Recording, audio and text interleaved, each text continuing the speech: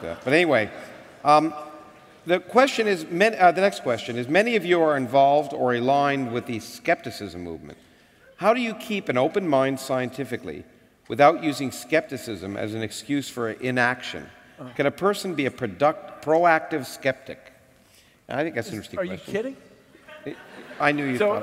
uh, uh, I think, Lawrence, uh, uh, correct me, but people c- confuse, in the modern word that's been made up is conflate the word cynicism with the word skepticism.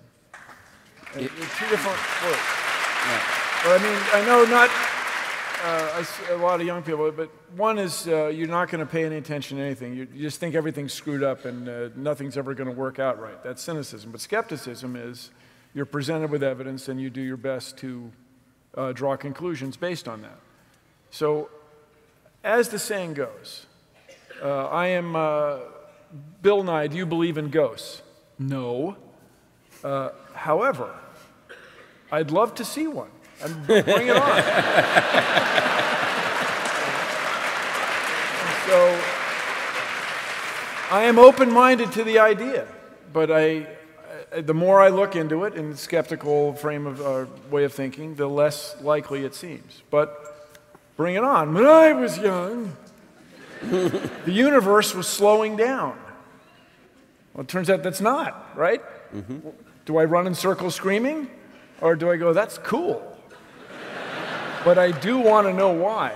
Yeah. And well, you know, and, and I think you're, that's the point. Is being wrong is really the most exciting thing in oh, science. yeah. And in fact, as I often say, you know, when, pe- when I debate people, speak of skepticism, there are people who don't accept the fact that evolution is a fact. And I've spent a, an undue amount of time in this country talking to those people.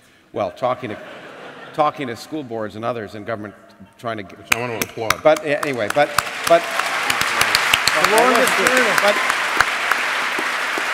but there's this there's this illusion that we somehow have this pact that we shake hands when we get our PhD. We're you know we, evolution can't question it, and you know we want to be right, and the people don't understand that the the way to become successful is to prove your colleagues wrong. That's the way to become a, a well-known scientist, is to make a discovery that proves wrong. So if there was something better than evolution, if it didn't work, you know, you'd be, Richard would be the first person to want to try and, and discover it in a sense, because it would mean we'd learn something, right? Yeah. Yeah.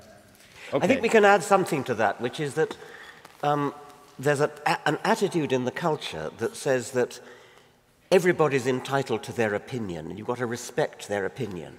No, you damn well haven't got to respect their opinion.